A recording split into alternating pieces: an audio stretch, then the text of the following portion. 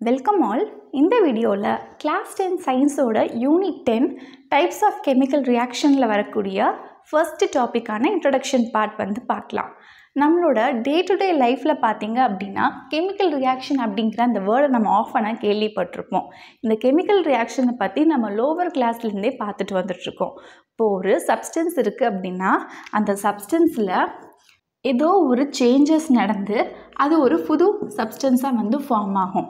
அப்படி ஒரு old substance வந்து புது சப்ஸ்டன்ஸாக ஃபார்ம் ஆகிறதுக்கு முன்னாடி பார்த்திங்கன்னா அந்த ஓல்டு சப்ஸ்டன்ஸுங்கிறது எப்படி ஃபார்ம் ஆகிருக்கும் everything is made up of atoms and molecules இப்போது இந்த சப்ஸ்டன்ஸ் வந்து ஒரு மாலிகுலாக இருக்கலாம் ஆர் அதர்வைஸ் ஒரு காம்பவுண்டாக இருக்கலாம்.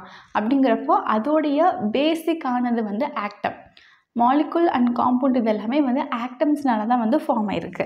ஒரு ஆக்டம் இன்னொரு ஆக்டத்தோட எப்படி வந்து கனெக்டடாக இருக்குது அப்படின்னா கெமிக்கல் பாண்டு மூலியமாக ஸோ ஒரு சப்ஸ்டன்ஸில் நிறையா கெமிக்கல் பாண்ட் வந்து இருக்கும்.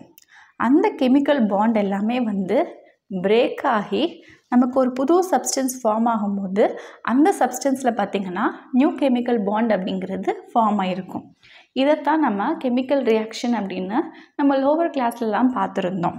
இந்த மாதிரியான சேஞ்சஸ் வந்து எப்படி நடக்குது அப்படின்னா ஒன்று ஸ்பான்டேனியஸாக நேச்சுரலாகவே நடக்கலாம். இல்லைனா வெளியே இருந்து நம்ம ஒரு சில எக்ஸ்டர்னல் எனர்ஜி ஆர் எக்ஸ்டர்னல் ஃபோர்ஸை கொடுத்து பாண்டை பிரேக் பண்ண வச்சு ஒரு புது பாண்டை வந்து நம்ம ஃபார்ம் பண்ண வச்சுருப்போம். இந்த மாதிரி நடக்கலாம்.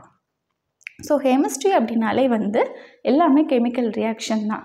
Lot of chemicals will involve in that and அதுக்குள்ளே ஒரு ரியாக்ஷன்ஸ்லாம் நடந்து ஒரு புது கெமிக்கல் வந்து ஃபார்ம் ஆகும். ஸோ இந்த மாதிரியான நம்மளுடைய டே டு டே லைஃப்பில் நிறைய கெமிக்கல் ரியாக்ஷன் அப்படிங்கிறது இன்சைட் அவர் பாடி நடக்குது. Outside of our body என்விரான்மெண்ட்டில் நடக்குது. ஸோ இதெல்லாத்தையும் நம்ம அப்சர்வ் பண்ணிக்கிட்டே தான் இருக்கும்.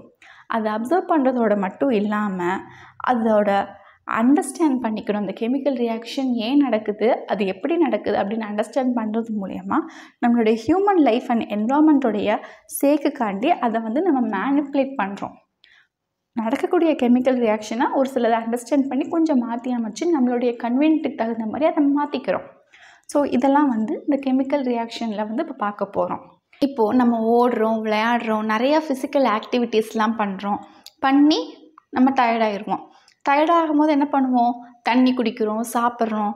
ஸோ தண்ணி குடிக்கிறோம் சாப்பிட்றோம். அந்த சாப்பாடு போய் சாப்பாடாகவே உள்ளுக்குள்ளே இருந்தால் நம்ம பாடிக்குள்ளே போதுமா? கிடையாது. நம்ம பாடிக்குள்ளே போனால் அந்த ஃபுட் அப்படிங்கிறது டைஜஸ்ட் ஆகணும். லார்ஜர் மாலிகுல்ஸாக இருக்கிறது. ஸ்மாலர் மாலிகுல்ஸை பிரேக் ஆகி அதுக்கப்புறமா அது டைஜஷன் அப்படிங்கிறது நடந்து அந்த ஃபுட்டில் இருக்கக்கூடிய நியூட்ரியன்ஸை நம்ம பாடி வந்து அப்சர்வ் பண்ணிக்கணும். அப்போ தான் நமக்கு அந்த ஃபுட்லேருந்து எனர்ஜி நம்ம பாடிக்கு கிடச்சி திரும்ப நம்மளால் அகெயின் நம்மளுடைய வேலைகள்லாம் செஞ்சுக்க முடியும். அதே மாதிரி இப்போ ஒரு பிளான்ட் இருக்குது அந்த பிளான்ட்டுக்கு சுற்றி ஏர் இருக்குது வாட்டர் இருக்குது சன்லைட் இருக்குது இது மட்டும் இருந்தால் போதுமா? நோ அதை வந்து அந்த பிளான்ட்டை யூஸ் பண்ணிக்கணும். ஒரு பிளான்ட் வந்து எப்படி க்ரோ ஆகுது?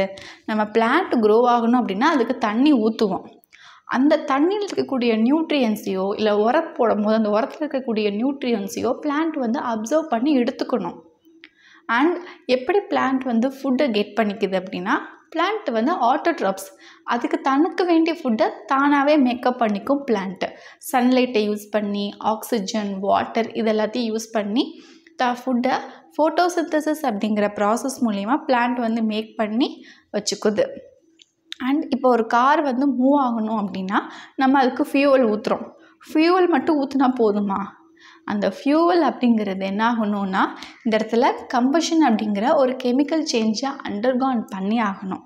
அந்த ஃபியூவலை அந்த கார் வந்து எடுத்துக்கிட்டு அதுக்கப்புறமா தான் காரால் மூவ் பண்ண முடியும். அதே மாதிரி இப்போ ஒரு அயர்ன் இருக்குது அயர்ன் வந்து நம்ம ரஸ்ட்டாக மாற்றணும் அப்படின்னா வாட்டருக்கோ ஏருக்கோ எக்ஸ்போஷர் பண்ணால் மட்டும் போதாது. அந்த இடத்துல ஒரு கெமிக்கல் ரியாக்ஷனான ஆக்சிடேஷன் அப்படிங்கிறது நடக்கணும். அப்போ தான் அயன் வந்து ரஸ்ட்டாக மாறும். ஸோ இந்த இடத்துல பார்த்தீங்க அப்படின்னா டைஜஷனாக இருக்கலாம் இல்லை ஃபோட்டோசிந்தசிஸ் ப்ராசஸாக இருக்கலாம் கம்பஷன் ஆஃப் ஃபியூவலாக இருக்கலாம் ஆக்சிடேஷன் ஆஃப் அயனாக இருக்கலாம். இது எல்லாமே வந்து ஒரு கெமிக்கல் ரியாக்ஷன் ஸோ எல்லா மெட்டீரியல்ஸுமே வந்து ஒரு சேஞ்சஸை கண்டிப்பாக அண்டர்கான் பண்ணும். எந்த ஒரு மெட்டீரியலுமே வச்சது வச்சபடி அப்படியே இருக்காது. கொஞ்சம் கொஞ்சமாக ஸ்லோ ஸ்லோவாக ஒரு சில சேஞ்சஸை வந்து அண்டர்கான் பண்ணும். அண்டர்கான் பண்ணி அது வந்து ஒரு வேறு ஒரு புது மெட்டீரியலாக அது வந்து ஃபார்ம் ஆகும்.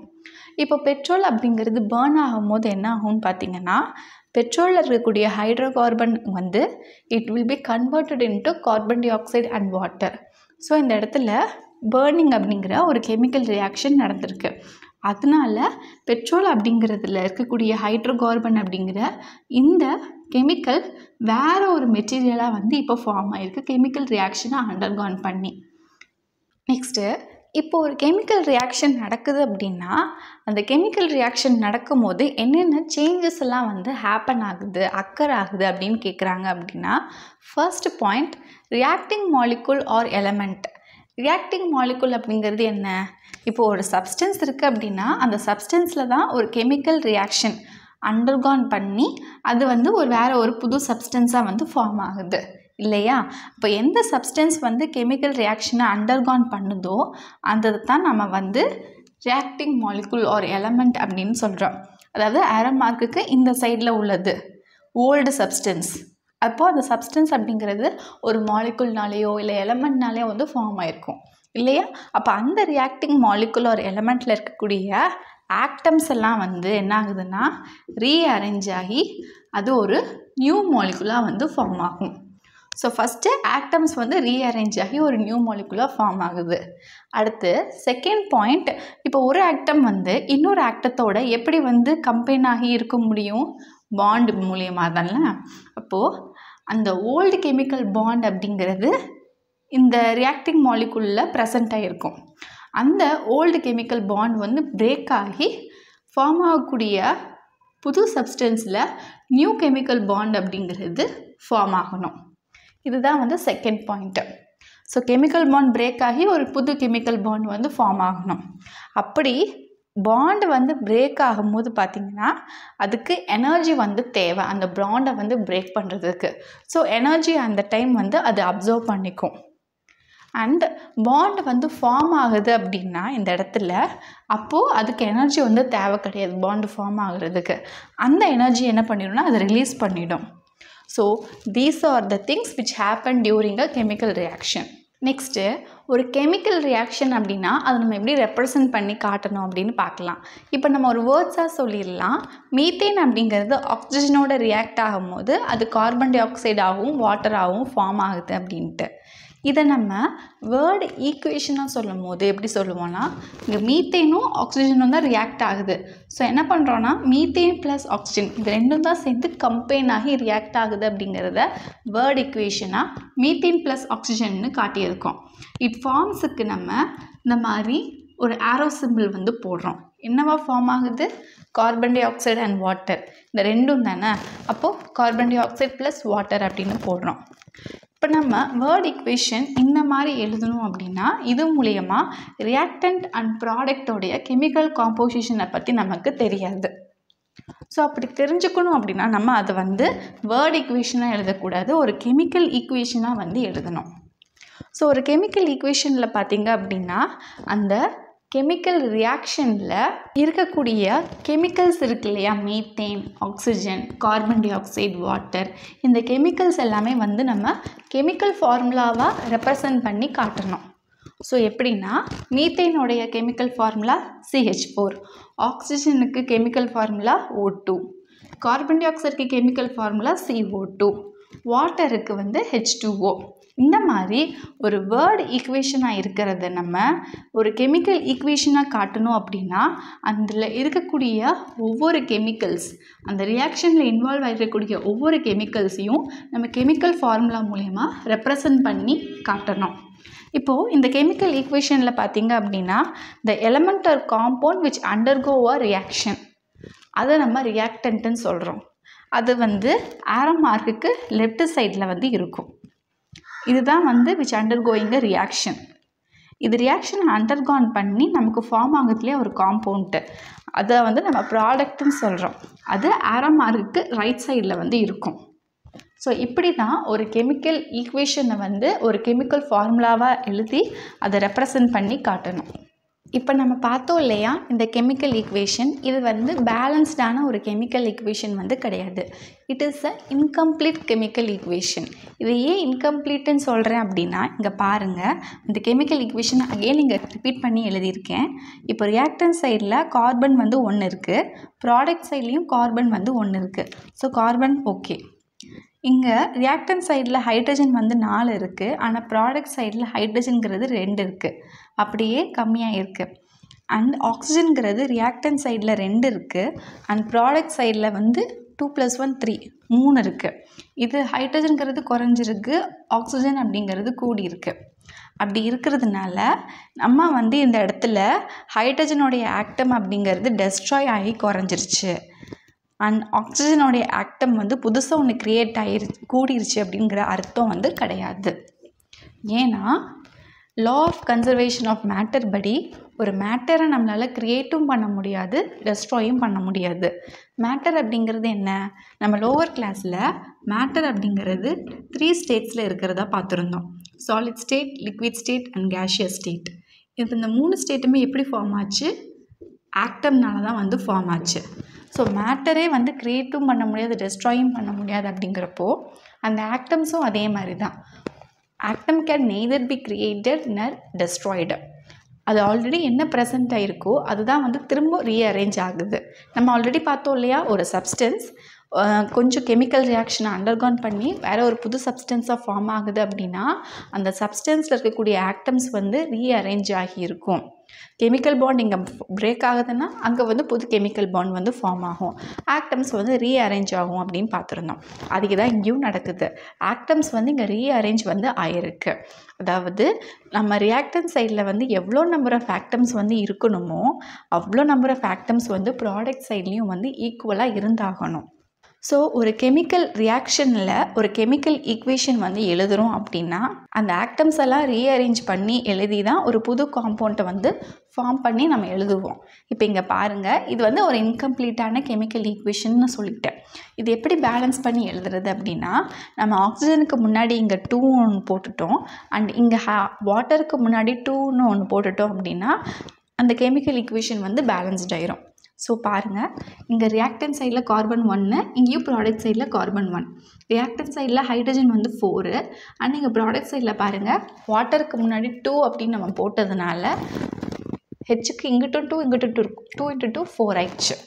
பேலன்ஸ் ஆயிடுச்சு ஹைட்ரஜன் அண்ட் ஆக்சிஜன்னு பார்க்கும்போது இங்கே டூ போட்டதுனால two into two four and இங்கேயுமே வந்து டூ இங்கே போட்டதுனால வாட்டருக்கு முன்னாடி டூ ஒன் சார் டூ எதுவுமே இல்லைன்னா அங்கே ஒன் இருக்கிறது அர்த்தம் two one sir two so அந்த டூவையும் அண்ட் இங்கே இருக்கிற டூவையும் நம்ம ஆட் பண்ணால் டூ ப்ளஸ் டூ ஃபோர் அப்போது ரியாக்டனில் எவ்வளோ நம்பர் ஆஃப் ஆக்டம்ஸ் வந்து இருக்கோ அவ்வளோ நம்பர் ஆஃப் ஆக்டம் வந்து இப்போ ப்ராடக்ட்லேயும் இருக்குது இந்த ஈக்குவேஷன் பேலன்ஸ்ட் ஆயிடுச்சு. ஸோ திஸ் இஸ் அ பேலன்ஸ்டான கெமிக்கல் ஈக்குவேஷன் அண்ட் ஒரு கெமிக்கல் ஈக்குவேஷன் எழுதும் போது அந்த கெமிக்கல்ஸ் கீழே அந்த கெமிக்கல் எந்த மாதிரியான ஃபிசிக்கல் ஸ்டேட்டில் இருக்குது அப்படிங்கிறதையும் இண்டிகேட் பண்ணி காட்டணும். இப்போ இங்கே ஜி போட்டிருக்கு அப்படின்னா ஜி அப்படிங்கிறது அந்த கெமிக்கல் கேஷியஸ் ஸ்டேட்டில் இருக்கிறதா அர்த்தம். ஸோ ஒரு கெமிக்கல் இக்குவேஷனை பார்க்கும்போதே நம்ம கண்டுபிடிச்சிடலாம். ஏன்னா அதில் இருக்கக்கூடிய சப்ஸ்டன்ஸ் இந்த மாதிரியான ஃபிசிக்கல் ஸ்டேட்டில் இருக்குது அண்ட் எந்த கண்டிஷனில் அந்த ரியாக்ஷன் அப்படிங்கிறது நடந்திருக்கு அப்படிங்கிறத பற்றியும் நம்ம தெரிஞ்சுக்க முடியும். ஸோ ஒரு பேலன்ஸ்டான கெமிக்கல் ஈக்குவேஷன் அப்படிங்கிறது என்னென்னா ஒரு கெமிக்கல் ரியாக்ஷன் அப்படிங்கிறது ஒரு சிம்பிளிஃபைடாக ரெப்ரசன்ட் பண்ணி காட்டியிருக்கணும். அண்ட் ஆல்சோ அந்த கெமிக்கல் ரியாக்ஷனில் இருக்கக்கூடிய ரியாக்டன்ட் அண்ட் ப்ராடக்ட் இருக்கு இல்லையா? அதோட chemical composition and physical state இதை பற்றியெல்லாம் வந்து அந்த ஈக்குவேஷன் டிஸ்கிரைப் பண்ணி காட்டியிருக்கணும். அண்ட் ஆல்சோ அண்ட் அந்த ரியாக்ஷனுடைய கண்டிஷனை பற்றியும் நமக்கு தெரியணும். அப்படிப்பட்ட அந்த ரியாக்ஷனை தான் நம்ம பேலன்ஸ்டான கெமிக்கல் ஈக்குவேஷன் அப்படின்னு சொல்கிறோம் இப்போ இங்கே பார்த்தீங்க அப்படின்னா two K plus two H two O gives two KOH plus H two அப்படின்ருக்கு அப்போது இது வந்து ஒரு கெமிக்கல் ஈக்குவேஷன் இதுக்கு என்ன அர்த்தம்? கே அப்படிங்கிறது பொட்டாசியம் ஹெச் டூங்கிறது வாட்டர் கேஓஹெச் அப்படிங்கிறது பொட்டாசியம் ஹைட்ராக்சைட் ஹெச் டூ அப்படிங்கிறது ஹைட்ரஜன் அண்ட் கீழே பார்த்தீங்க அப்படின்னா எஸ் எல் ஏக்யூ ஜி அப்படின்னு போட்டிருக்காங்க. இதுக்கு என்ன அர்த்தம் அப்படின்னா இப்போது இந்த சப்ஸ்டன்ஸான பொட்டாசியத்தோட ஃபிசிக்கல் ஸ்டேட் வந்து சாலிட் ஸ்டேட்லேயே இருக்குது இப்போ இந்த சப்ஸ்டன்ஸான வாட்டருடைய ஃபிசிக்கல் ஸ்டேட் வந்து லிக்விடாக இருக்குது அண்ட் இந்த சப்ஸ்டன்ஸான பொட்டாசியம் ஹைட்ராக்சைடோடைய ஃபிசிக்கல் ஸ்டேட் வந்து அக்வோ சொல்யூஷனாக இருக்குது அண்ட் இந்த சப்ஸ்டன்ஸான ஹைட்ரஜன் இதோடைய ஃபிசிக்கல் ஸ்டேட் வந்து கேஸாக இருக்குது அப்படின்னு ஒவ்வொரு சப்ஸ்டன்ஸோடைய ஃபிசிக்கல் ஸ்டேட்டை வந்து இங்கே டினோட் பண்ணி காட்டியிருக்காங்க. ஒரு கெமிக்கல் ஈக்குவேஷன் அப்படின்னா அதோடைய ஃபிசிக்கல் ஸ்டேட்டை பற்றியும் நம்ம டினோட் பண்ணி காட்டணும். இப்போ அதுக்குரிய சிம்பிள் என்னென்ன? அண்ட் அது என்ன ஃபேஸில் இருக்குது அப்படிங்கிறது தான் வந்து இது. ஓகேவா அண்ட் இந்த சப்ஸ்டன்ஸோடைய இந்த ஃபிசிக்கல் ஸ்டேட் எழுதும் போது எப்போவுமே ஷார்ட் ஃபார்மில் வித்தின் த ப்ராக்கெட்டுக்குள்ளே கீழே சப்ஸ்கிரிப்டாக தான் வந்து எழுதணும். So here two molecules of solid potassium react with two molecules of liquid water to form a two molecules of aqueous potassium hydroxide and one molecule of hydrogen gas. இதுதான் வந்து இந்த chemical ஈக்குவேஷனுக்குரிய ஒரு சென்டென்ஸாக வந்து explain பண்ணி சொல்கிறது okay அவ்வளோதான் இந்த வீடியோவில் நம்ம இந்த சாப்டரோட இன்ட்ரொடக்ஷன் பார்ட் பற்றி பார்த்தாச்சு. அண்ட் ஒரு கெமிக்கல் ரியாக்ஷன்னா எப்படி நடக்கும்? அங்கே என்னென்ன சேஞ்சஸ்லாம் நடக்குது? அண்ட் ஒரு கெமிக்கல் ரியாக்ஷனில் இருக்கக்கூடிய கெமிக்கல் ஈக்குவேஷனை வந்து நம்ம எப்படி எழுதி காட்டணும் அப்படிங்கிறத பற்றியெல்லாம் பார்த்தாச்சு இந்த வீடியோவில் ஐ ஹோப் இன்றைக்கி பார்த்த இந்த டாபிக் உங்களுக்கு கிளியராக அண்டர்ஸ்டுட் ஆயிருக்கும்னு நினைக்கிறேன். If you have any doubt regarding this please do comment let me know இந்த comment section if you like this video thumbs up share among your friends circle இந்த video நிறைய பேருக்கு ஹெல்ப்ஃபுல்லாக இருக்கட்டும். இந்த இயர் நான் கிளாஸ் டென் வந்து post பண்ணிக்கிட்டே வரேன். இது வரைக்கும் நான் போட்ட கிளாஸ் டென் வீடியோஸ் எல்லாமே என்னோட சேனல் பிளேலிஸ்ட்டில் கிளாஸ் டென் சயின்ஸ் அப்படின்னு இருக்கும். அண்ட் ஆல்சோ நான் class six to class nine வரைக்குமே போட்டிருக்கேன். அதையும் பார்க்கணும்னு நினச்சிங்கன்னா என்னோட சேனல் பிளேலிஸ்ட்டில் போய் பார்த்துக்கோங்க. And forthcoming videos related to this unit தான் வந்து போட போகிறேன் இந்த யூனிட்டில் நான் போடக்கூடிய ஒவ்வொரு வீடியோஸுமே கீழே டிஸ்கிரிப்ஷன் பாக்ஸில் அதோட லிங்க்குமே வந்து கொடுத்துருப்பேன்.